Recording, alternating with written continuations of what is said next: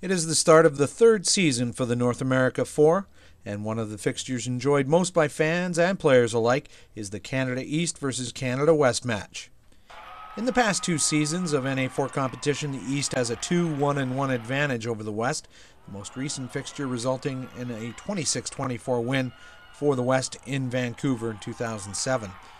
2008 sees two very different sides and a special need to be filled ahead of the Barclays Churchill Cup in June.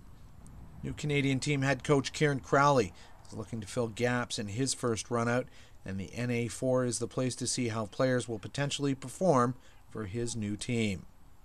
East coach Simon Blanks thinks he may have all the pieces of the puzzle he needs to prevail in this opening round. We have some players now that can release the two fastest guys statistically in Rugby Canada, which is Kieran and, and Dean Van Camp, and uh, they should have the experience and the know-how to be able to put those other guys into the holes. We're going to try and earn the right to play wide by being strong at the set piece and strong in the line out. If we are able to do that, we're going to cause any team a few headaches with the pace that we have behind the scrum. On the West squad, there are more than a few familiar faces, including the return of former Canadian teamers Pat Dunkley at hooker, Pat Fleck at scrum half, and flanker Adam Van Staveren, all putting their hands up for the NA4 cause and perhaps another chance at Canadian glory. For Dunkley, who last played for Canada in 2005, it's a chance to help nurture the next generation of players in Canada, and if all goes well, he can put the Canadian team jersey on once more. I'm enthusiastic. I guess this is uh, sort of my last kick at the can, you know, being 35, and uh, I'm looking to uh, bring some experience to the team, and uh, it's always nice to have some uh, mature heads, uh, you know, to settle things down.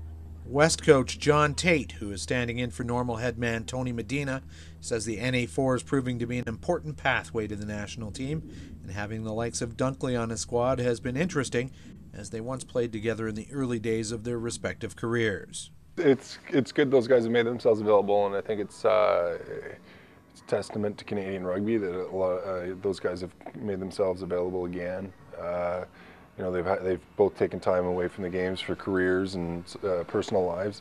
Uh, it's good to see them back in. They bring something different to the table. That experience counts for a lot.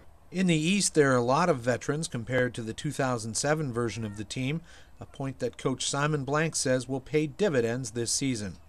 Is uh, 6 out of 25 is actually means 19 of the guys have been in and around the NA4 before and Canada East, and that makes it an awful lot easier to, to move along quickly at practices. They know what they know what's expected of them. They know the level of intensity. They know the the majority of the drills and some of the things that we're trying to implement in the game. So it means we, we, we did an awful lot of good work today at practice.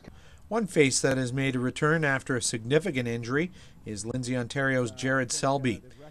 He was rocked in last year's East West game by prop Scott Franklin causing a severe knee injury.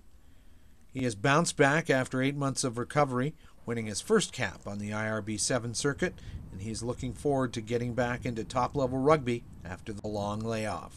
Slowed me down for about eight, eight, nine months.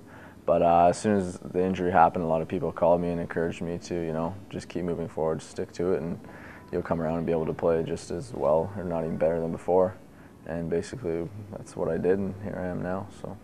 All players acknowledge that in its third year, the NA4 is a quality competition to be a part of. Yeah, I think it definitely gains more credibility as each year goes by. People, I mean, it's obviously a new tournament, so as years go by, people hear about it, and it's it is gaining more credibility. It's definitely a privilege to play in the tournament.